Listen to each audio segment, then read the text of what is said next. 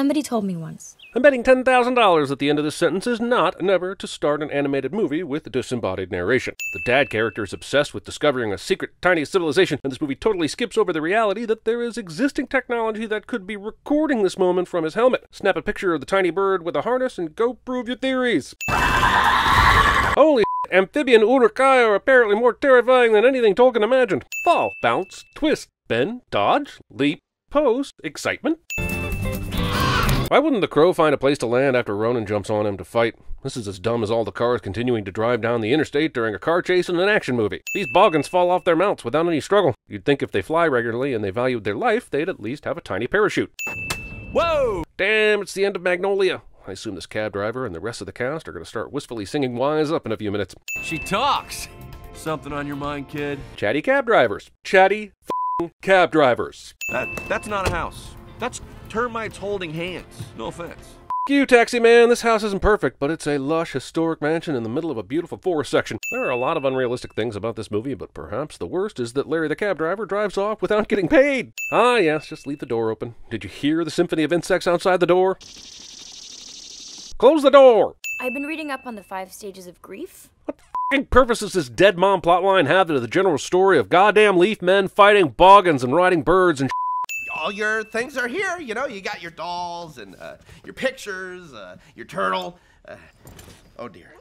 Are we to believe that there is a dead turtle in a terrarium in the corner of the room, having died of starvation and neglect, filling the air with its rotting turtle stank all these years? There's Dad who likes to collect dead nature things, and then there's Dad who should be examined by medical professionals. And the dialogue in this scene is not helping me decide which category he should be in. If this room is the same as she left it in her childhood, why does she have adult-sized skates? MK's too big for her childhood bed, fine, but it really should only be the width that's the problem, right? Twin bed for a kid is still the same size as a twin bed for an adult. So, unless she's the height of Gwendoline Christie, she should easily be able to stretch her legs out.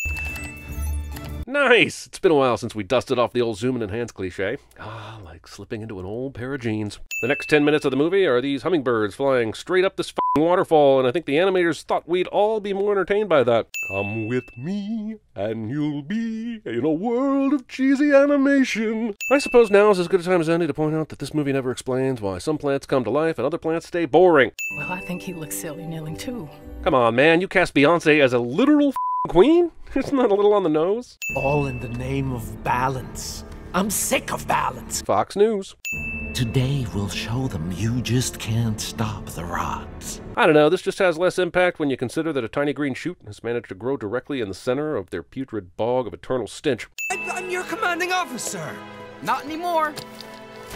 I quit. Okay, the research work, the father daughter dynamic, the three legged dog, the queen and her pod heir, her lady boner for Ronin, the king and his son, the battle between the species, workplace drama, magical shrinkage. This movie already has roughly 936 storylines, only 1.5 of which are actually necessary. This float has entirely too many strings attached to dragonflies. Do you know how unnecessarily dangerous this is for the dragonfly's delicate wings?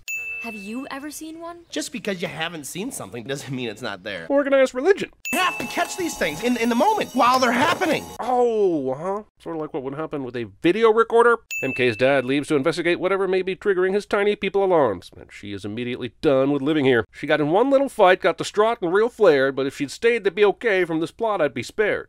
Bye, Ozzy. It's not you. This bull fake out of MK leaving the house is such a dick. It's only been 20 minutes, asshole. We know she's not going anywhere. It's a shame no one ever told these leaf men that there are pieces of equipment specifically designed to hold arrows. Even the animators realized they had grossly overdone it with the dragonfly strings, and suddenly we've gone from about 3,692 strings to only three. Okay, I already noted that the Queen thing was on the nose, but having Beyonce's character literally walking on water is a bridge too far. Mom, can I be queen when I grow up? Oh, honey, it doesn't work that way. Turns out it actually does work that way, and nobody in this universe understands a goddamn thing. Do you have a favorite? Boom! Right here. How about that one? I mean, why ask Mub and Grub for their opinion on pods when you take a look at their choice, ignore it, and reroute to a nearby alternative? If you know what pod you're going to choose, just pick it and move on. Sometimes the biggest Ow. one isn't the best one. He just yanks the pod out of the water and the movie carries on as if this plant didn't need to be in the water. Sure, they say that Grub Hub keep it moist, but we only see them hold it much later. I'm saying this pod should be dead.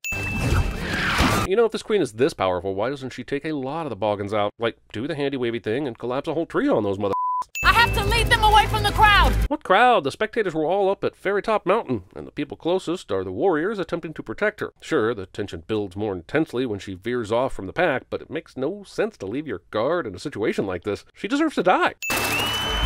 What is this? A Red Dead Redemption wild RP server moment here? How can one bird hear a tiny whistle in this chaos? So maybe you were right.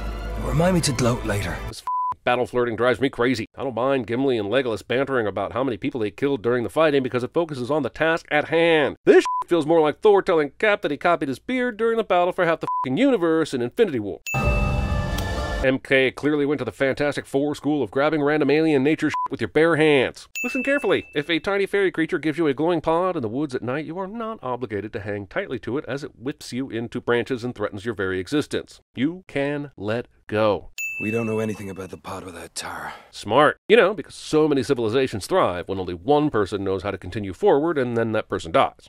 We are the official pod caretakers, sir. Which is f***ing dumb, considering slugs and snails will drown in water. No other rules? Nobody telling you what to do? Nod is telling us why he loves racing and forgets that this race was supposed to be rigged, and there are rules, and there are people telling him what to do. Yeah? Prove it. Cartoon character pulls comically large object from impossible places cliche. I'd buy that he has the cold cuts and the mayo handy, but there is no way in God's green this absent-minded professor bachelor has a head of lettuce this fresh. Dear Dad, I was here for 12 minutes and got mad when you didn't abandon your life's work to talk to me immediately. My lack of patience and short-sightedness has driven me to the realization that I should show you how easy it is to abandon things you love. Goodbye, your selfish kid, MK.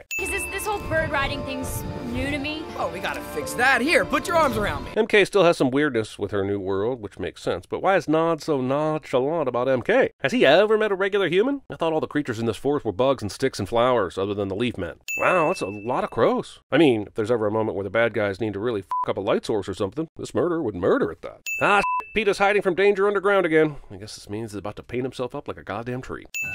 It's a mouse! Things Fable lovers say in their adult life when they wrongly believe that mice should be adored, fed, clothed, and kept as pets. Danae. Aw, man. Now let's move. Ignoring an obvious concussion on a woman who's holding the key to your whole existence. What's wrong, flat face? Are you gonna cry? I'm going to be honest with you right now. I'm sending this scene so that I can use it later for an outtake in another video because this is hilarious. It's sending it is how I show I care.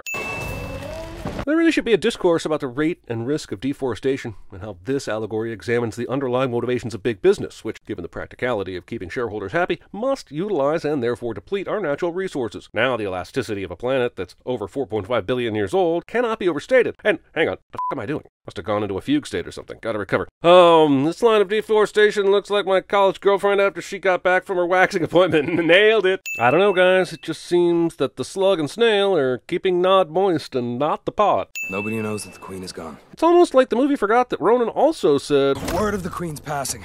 We'll travel fast. only 13 minutes ago. And let this be a reminder to all of you that yes, we do watch the movies we send. But he'll help, right?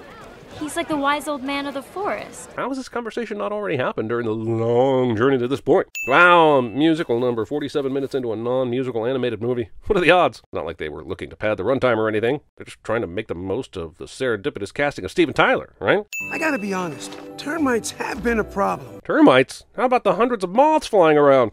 This calls for a celebration. Really seems like the glowworm has taken the death of the beloved queen pretty well, doesn't it? Matter of fact, all these assholes got over that pretty quickly. It's just dusty. Blow it off. I would think this is a line Steven Tyler has told many groupies over the course of his career. If you can hear me now, it means you got to news.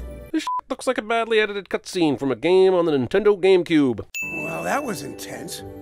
I gotta read more of these. Do you mean you need to blow more of these? Because you've skimmed all the scrolls already, but you had MK blow this one, so just looking for a little consistency here. If you wanna go home so bad, then why'd you leave? Asking a loaded question and then walking away like a prick. Also, this is a pertinent question, but there's no way Nim would actually know how MK got here. For all intents and purposes, she actually was still home in the front yard when she got into this whole mess. You wanna go somewhere quieter? They're gonna bone, aren't they? I've seen this story once, I've seen it a thousand times. Boy quits his job to start working in an illegal trade with shady characters. Girl gets saddled with an unwanted pod and a shrunken down to microscopic version of herself. Girl meets boy, boning happens. I can't play the music here to prove it, but I assure you that the song being played right now is Hell by Squirrel Nut Zippers.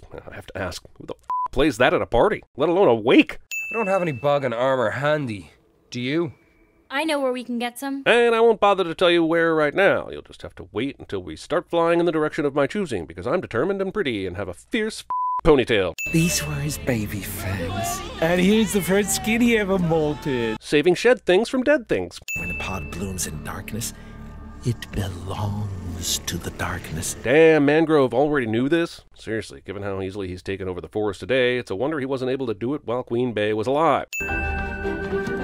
Ah, sudden unnecessary gymnastics. It's the Lost World Jurassic Park all over again. He only finds what we want him to find. Except that saddle, because I'm fairly sure when Nod says, Hey, that's my saddle! He was shocked to see it on display here. You know, as if the Stomper Dad had found something they didn't want him to find. I hurt my elbow. I get that Nod is fing around instead of being focused on the task at hand, but what the hell is wrong with Ronin? There's like hours left until the potential demise of their entire universe, and he's got time for a bad stand up routine? I'm here! Honey, I Shrunk the Kids again, and also you're dead. Dad! Dad, just turn around! I've never been a tiny bug sized human hoping for help before, but rather than screaming from a distance, I believe I would actually go to the person and bite their goddamn leg or some shit. What the f is waving from 40 feet away on a carpet gonna do? Attract a dog, that's what. Fucking dogs. As fast as these assholes are shown to be, there's no way the dad had time to see something with his naked eye, grab his helmet, put it on, and focus right on Ronin before they're out of the house. Physics according to your own physics movie. I guess I don't mind this whole slow-mo escape sequence, but I am annoyed that it has all to do with the rest of the movie. Dad conveniently passes out and drops the vacuum container that housed MK, conveniently. Behold the incredibly inconspicuous outfits that conceal so many aspects of their obvious humanoid forms. And just in case we really want our enemy to know how great we are at sneaking, our leader will continue to sport his bright green leaf gear. When I get big again, I am so coming back here with a can of bug spray. Premeditated murder. I told you she'd come for me. Of all the storylines I didn't need in this movie, this pervasive sluglust has been the most unpleasant. What do you call someone you've known a long time and always wanted to destroy? Parents? Oh, so what's the plan here? I'm pretty sure the script asked itself the same thing at this point in the narrative. Having no response, the script sullenly shuffled out the door, went to the nearby bar, downed a shot of gin, picked up a hooker, took him home, and was never heard from again. Getting out is a lot harder than getting in. It is not. Character is overwhelmed by evil, ravenous dickheads, but will somehow manage to escape in a movie cliche. Here's a confusing part where they don't send any bats after their enemy, even though the place was packed with them. I would feel bad for this now pilotless bird, but then I remember it's just a bird. The Boggans aren't far behind. Then why are you all flying this slow? We single-handedly saved the forest! Considering these two are gastropods, they technically did it with no hands. Yeah. I guess it is. Dude, these two met like four hours ago, tops. Am I really supposed to give a rat's ass about this love connection? Tinder hookups last longer than this. They're not attacking, they're just blocking out the moon. Much like a wayward cloud could also block out the moon, and what a tragedy that would be because you can't punch a cloud. There's probably less than two minutes left before the moon hits its peak, but this dickhead takes the time to suit all the way up. You know, this feels like an epic battle. Hell, the movie's called Epic, but it's seriously just a battle over a tiny patch of land outside a metropolitan area. And I understand that even the smallest of battles are meaningful, and that's probably the tongue in cheek purpose of the name, but in reality, this translates to the huge fight at the end of Ant Man, and the result is the toy version of Thomas the Tank Engine getting derailed. Whoa.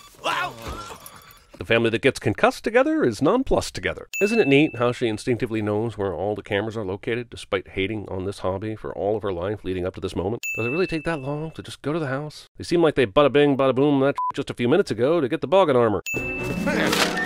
Tiny MK managed to wedge this thumbtack in so deeply that it doesn't budge when her dad rages on the map. Mind you, this is the same Tiny MK that couldn't lift a sword, so who knows how she managed to embed it so deeply that a giant couldn't dislodge it. And let's look at this map. We have a convergence of circles indicating raised terrain, and intersecting of four springs, and someone even drew a triangle there. Now, how would this not have been a place for an obsessed scientist to explore? Not like the tiny people could stop him from setting up his cameras, in which case he'd have easily seen this place shining like a beacon in the night.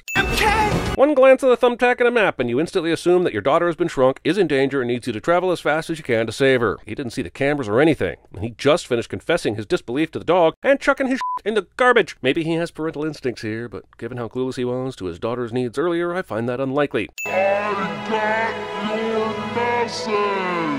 And then I carried the thumbtack all the way through my forest run just to prove to you that I got your message. You know, in case it wasn't obvious that I got your message, considering I'm standing right here. The pod wouldn't open under the moonlight, but that was because the boggans were blocking the moonlight. But the leaf men have been fighting them for a while now, so there has to be at least a sliver peeping through, right? What if the pod is born under a half moon? Is it half good, half evil? the f- just happened? She's being transported back to being a human after all this, but still resists it long enough to get a kiss, once again proving the inexplicable power of characters played by Josh Hutcherson. I mean, thank God he had that photograph of his family with him, so that when the deer pops out of the woods, he can compare it to his daughter and rest assured that it was not, in fact, her. It's perfect, Dad.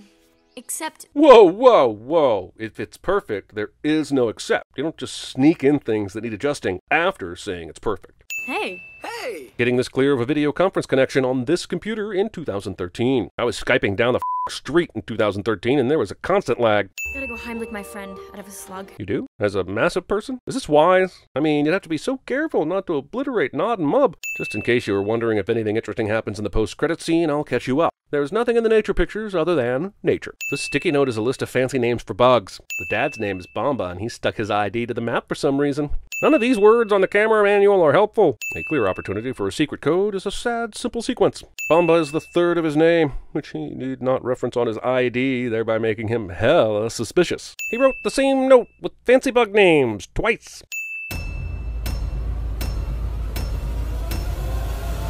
Where's the basement? Excuse me? Aren't we gonna see the basement? Something on your mind, kid? It's like I have ESPN or something. Oh, don't grovel. One thing I can't stand is people groveling. Your Majesty! Get to the chopper! Start? I don't feel so good. Oh, gravity works. Could get out of the palace, see the world. Is it safe? Sure, do you trust me? Good evening, ladies and gentlemen. We are tonight's entertainment. Parkour! Michael! Parkour! Parkour! Extreme! Hello there. Bob! Grub! Quibble up a dub dub! On your left.